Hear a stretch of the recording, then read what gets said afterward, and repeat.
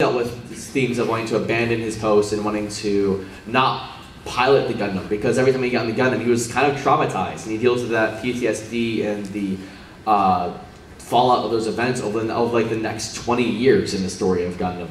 Um, this was very much what something that they wanted to emulate in uh, Evangelion. They basically took that early arc and said, okay, what if it was Amuro, except for he had no good adults around him? What if it was Amuro if everyone like didn't want to support him? Um, and that's where Shinji comes out of partially. Um, so I think we get we get to the second part of our uh, presentation, which is Evangelion airing. The original plan, uh, Evangelion had some aspects of it that were that did come out in the final product, but a lot of it didn't necessarily. The ending was originally different. It was still going to be kind of apocalyptic and uh, wide-ranging, but it, it, was never going to be the sort of everyone on a blue ball clapping. Um, it was going to be about a instrumentality actually failing, and it was actually going to be about uh, an angel attacking from the moon, and then having to deal with that. Um, but that changed for reasons we'll get into later. The theme of not running away was something that Anno really wanted to touch upon. Um, he wrote and directed Evangelion. I should qualify that if anyone's not familiar. Uh, and he said that he really wanted to make this a central theme of the story. And we see this a lot, especially in the early series and again towards the, towards the uh, end of Evangelion. Um, this, the anime, not the movie. Um, Anno also wanted to try and help create more otaku he wanted to try and spread the uh, influence of anime wider, which is weird because Anno, as we all know, is that guy who's like, oh man, otaku suck. But he was also like, you know, it'd be really cool if more people were into anime and respected it as an art form. That's what he wanted to try and do with Evangelion. Um, also, the Eva units were too complicated to make toys out of. But They were like, listen, dude, can we just make it a little more blocky, a little more simple? Like, you know, look at look at Tomino. He's making he's making lots of money off of that. Why would we do that more like that? But uh, the Evangelion comp, the units, they kept their really complex design for good reasons, I think. They're really great. Um, that was sort of like the goal where they were trying to go for. They also wanted to, they were, they're trying to figure out like what's the best way to market this show, because it, it's, it's, it is definitely an alternate timeline where Evangelion was an OVA series and not an anime, a TV anime. But uh, they were like, no, more people are going to watch this if it's TV anime. Um, it's, so it's because we all assume that, that anime is for a general audience back in the day, and they're like, okay, we'll do this. Oopsie. Um, so the initial reception was that Evangelion was not as like super popular as it was today, or even at the end of its run. Um, it was extremely just like, oh yeah, there's that show, I guess. It didn't have a bunch of, of fanfare. It didn't have like any super big names attached to it, except for maybe Anno, but I'm not. I don't really have a really good grasp on how Anno was respected in the time before Evangelion, so I can't really speak to that. But it was not a big deal show. I believe it was a late night, late night airing. Um, it grew slowly in popularity because of word of mouth. A lot of people were like, "Hey, dude, like, there's this Evangelion show. It's really cool. It's like super robots, but like his dad's a jerk, and uh, there's this cute girl in it named Rei, and Asuka, she's rude, she's great." Um, and that was kind of where. Uh, that came out of was just a lot of people being, oh, dang, Evangelion's really good. And you started seeing even wider audiences, not people who were just watching things at late at night, but the general audience was tuning into this and being like, oh, cool, a new thing. Because nobody knew where this is going. Nobody read the manga. Nobody knew where this, like, what the end of the story was going to be. It was an adventure. Um, but there were, there were complications in this plan and uh, laying it out. So what were those complications that really ended up changing how Evangelion uh, was ended up being? It was not the religious imagery. A lot of people in the Western uh, uh, sort of audience, the Western imagery is a lot more controversial here than it was in Japan. Um, I, I, touched on this earlier, like, you know, crosses are just like, you know, supernatural shorthand. But, uh, yeah, no one really cared. It was like, oh, cool, a cross. That's neat.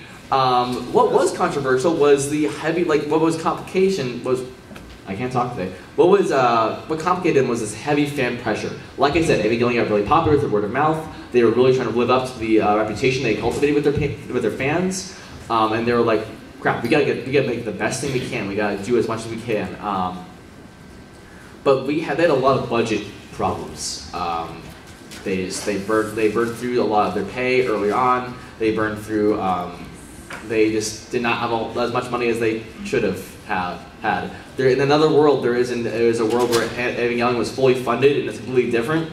I'd love to see that world. Um, but there was a lot of issues with there.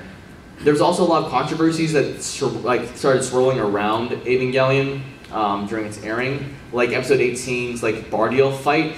Uh, so there was this is like this is this is when Evangelion was really popular, and they were like, yeah, so Anno, like in your last episode, like an Eva unit ate something, and it was scary as heck. Like what are we doing? So there's a lot, there's a lot of public outcry of like, this is something that kids could be watching. Why is he like ripping out the thing's innards and like devouring it while like a really like sappy song plays in the background? What's going on? Um, and this was like one of those big early things that really started happening. This is because the people at Gainax were feeling the pressure. They were very much like, listen, we don't have the time. We don't. We, either we stop this show, we stop making this show, or our stress is going to bleed through in the show. And they end up deciding to keep on making the show and being like, "You're going to see some stuff, guys. You're going to see some stuff." Which is why we start seeing these, a lot of these really avant-garde, really minimalistic kind of uh, editing and direction and animation tricks that weren't really in vogue at the time. Um, they specifically just wanted to say like we need something we can make that's cool and different. We, we don't have a whole bunch of time. So I wanted to try and make things that were low effort but high on concept. Um, and, that, and this is part of those reasons, one of the reasons why there was such a high pressure and such controversy surrounding Evangelion was that violent scene. Also, the uh, Kaji and Misato explicitly had sex in episode 20. Um, I believe it was, it wasn't on screen, but it was, mm, you know, definitely implied. Um, and again, this is that situation of, kids can be watching this, dude. Why are you, why are you doing this? Um, I want to say, I've been able to find a source on this, but I want to say this is one of the first like major um, like sex scenes between uh, of this kind in the animation, like the TV animation uh, world. Um, but I, I've heard that, but I've never been able to like hunt down a uh, source on that. So grain of salt, please. Anyways, these complications end up creating the show that that and that ended up being made. Like I said, they chose things that were like really high on punch and concept, but maybe not high on effort. And people are not necessarily receptive receptive towards art that doesn't obviously take a whole bunch of time, like or skill, as they see it. Um, you, you see this a lot in the, in the uh, response to modern art. I'll be like, oh, anybody could like splash a bunch of black on a page and be like, oh, it's so deep.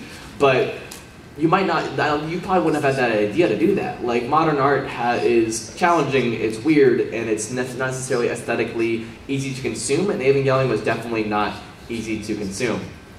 Especially in the later parts where they started running out of their budget and I take a lot less time on uh, animation and those cool robot fight scenes kind of started going away and they started using these really weird tricks like, you know, staying on a single frame for a full minute which I think was actually a really cool thing, but I can totally see why no one else would like that. Um, this again, this is this change for either better or for worse. I would really like to see like a quick show of hands. Who thinks that this has changed for the better? All right. Who would have liked to see it as it was originally intended? All right. So about 50-50 with some people some people abstaining, like the election. Um, so this is so you know, and that's when Evangelion aired. There's this whole bunch of outcry. The people, people are writing in. We've all heard the stories about like Gainax receiving death threats and all that, um, which in a more series-centric uh, panel, I would definitely get more into that of like, here's how this changed in the Evangelion, how they changed this, and da da da da. But we're talking about the impact in the industry. Um, now I mentioned earlier how I noticed a lot of people like having like character-based merchandise here, and you can definitely thank Evangelion for that. Like I said earlier, most anime merchandise was cool ships and cool toys and cool weapons. You didn't get like a, a shirt with your favorite character on it. Um, who here has bought something from the dealer's room today with their favorite character on it? Yeah. Good. So you can thank these two for that. Um, Asuka and Rei sold enormous amounts of merchandise. Enormous amounts. These two pushed so much dosh into the Gainax vault. that uh, Rei was actually called the premium girl by publishers because they could put her face on a book and it would sell out. Um, Rei was popular. Um, the, this was um, this was the first time that we had seen. The, I don't think this is the first time character-based merchandising was ever made, for sure. It was the first time that it was so successful. And everybody else was like, hey, Gainax is making lots of money. Can we do that too? Um, and they started, and that's why we started seeing this trend towards, you know, just slap their waifu on it. They'll buy it. And that's when we started seeing a lot of that happening. And again, this was this was stuff that was actually marketed at an adult otaku audience, which makes you kind of wonder, why did Anno want to make all this uh, otaku again? Maybe it's to sell them stuff. Hmm, you don't know. Um, but like again, this is something that was marketed towards an adult audience, to a collector audience, to an otaku audience, not to kids. Necessarily, some kids I'm sure were into it. Um, this also also helped to popularize certain character archetypes, um, which we all know now today as Q and Tsundere. Um, now, Asuka and Rei were definitely not the uh, they were not the first ones to be in this character archetype. Uh, the first tsundere of note is probably the Lum Invader from uh, Yatsura. Um, she's great, um, but she was like that person who was like, oh, you know, baka, and slap somebody, or does some, set some slapstick for like paying attention to another woman, or whatever they do. Um, and so that's where she kind of came out of. Um, the tsundere is probably the one that's least changed by the archetype. Uh, Asuka definitely helped to popularize it, but she didn't make a, as much of a big change on it as Rei did um, on her own archetype. Uh, I can never know how to pronounce this name. Mytel, Maetel? It's Maetel. Maetel, thank you. Uh, Maetel from uh, Galaxy Express 999, which was a Leiji uh, Matsumoto uh, manga and then later anime. She really has that first notable example of someone who's like really cold but has emotions on the inside. Um, but she was explicitly that's kind of just stoic and really not very expressive. Um, Rei was someone who was explicitly, at least to some degree, emotionless, um, which is why Rei had a much bigger change on the archetype than Asuka did. Um, Rei was very, like, in the decade or so after that, we saw a lot of people who were like, oh, she's an emotionless girl and she has no emotion. She's just a she's just a doll. That's all right. That's all right. And you know, eventually the uh, the main character like kisses her, and she's like, "Oh, I have emotions now." Yeah, and I could do an entire panel on the feminist implications of that one. Uh, but the um, the thing there was like again. Uh, Asuka really helped popularize this, and we saw a lot more tsundere uh, archetypes coming into the forefront in shows after this because they're like, oh man, I love it when a girl punches me and calls me an idiot. This is great. Um, but and then but like Rei was the really one the one that really helped to uh, change that kudere archetype to what we know it nowadays. That's where we got Yuki Nagato from uh, Haruhi Suzumiya. That's where we got Yin from Darker Than Black, um, and so on and so forth. Um, now you remember how a lot of shows were not really like based more on uh, manga and novels, and they're basically made for um, you know, just make for a general audience. That changes now. Um, everyone was like, oh man, Evangelion made a lot of money. It's very influential, it's very powerful. What if we did more experimental stuff in the TV space? Experimental anime always existed. That was in the OVAs usually and with films, but there was experimentation in, uh, anime, TV anime, absolutely. I don't want to say that like everyone who worked in TV anime was just like a, uh, a money-making drone. I don't want to say that. I don't respect anyone's like artistic integrity by saying that. But this is back when it became more vogue to let your directors do what they wanted.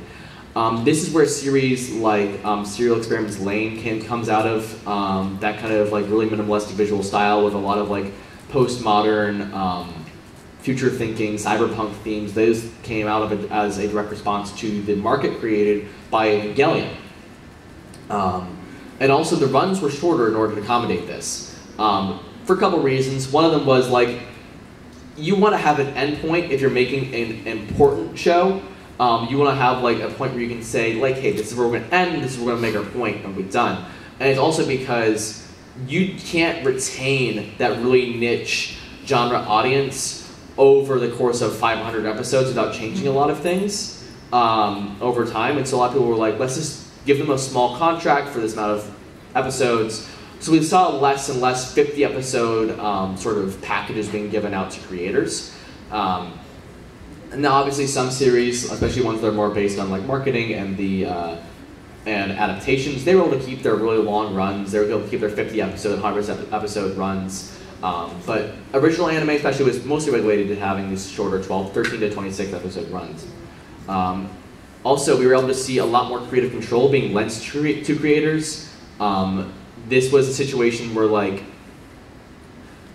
they realized they didn't have to necessarily make it all on toys. They were like, okay, we see you're going with something pretty cool here, and we're gonna we're gonna trust you on this. And if you're able to make us a lot of money, then go for it. Uh, this is this is kind of like an example of like uh, what Sunrise did with Cowboy Bebop.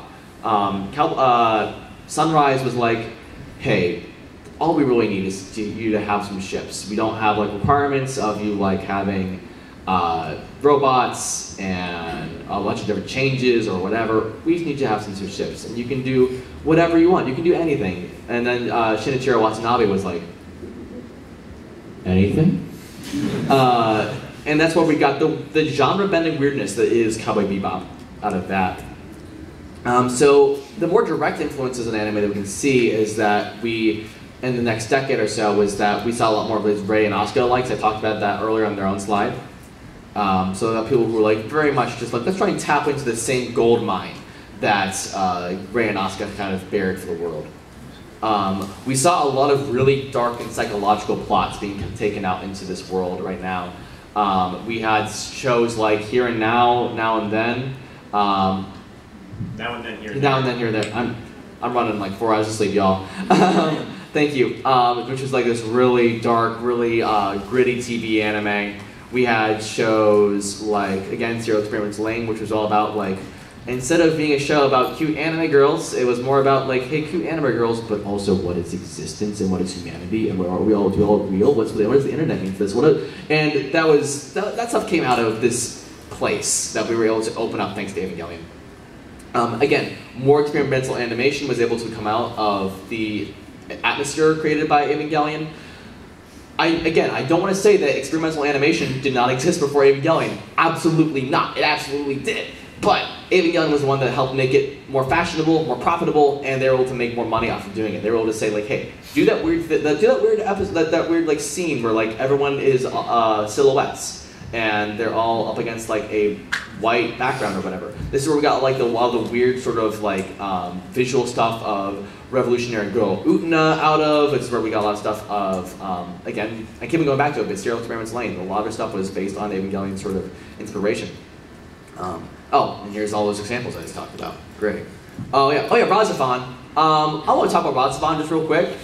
A lot of people in the Western world imagine that, uh, think that RahXephon is just oh, it's that Evangelion ripoff, right? Um, kind of, not really. Uh, Evangelion was influential on RahXephon, but it was, and it helped really create this sort of, uh, there was a lot of like plot points and aesthetics that were lifted partially from Evangelion. There's like, oh, there's the mysterious girl, there's the, um, the kind of character who like lives with them and maybe has a crush on him. Mm-hmm. Um, there was this, there was a lot of that going on, um, but that is more so to do with uh, Brave Raideen or super. It's Raideen. Uh, excuse me. Um, in the early '70s, uh, that was more so where they took their uh, inspiration from, which was a early Tomino work, and they were able to just like they were looking at that and taking more theme from that show and a lot more ideas out of that show, things that didn't really exist in Evangelion. This was a lot more about um, themes of transcendence and rebirth and Mayan uh, mythology used as sort of like a visual touchstone rather than uh, Judeo-Christian mythology. Okay, so now we're going to get into shows and works that reference Evangelion.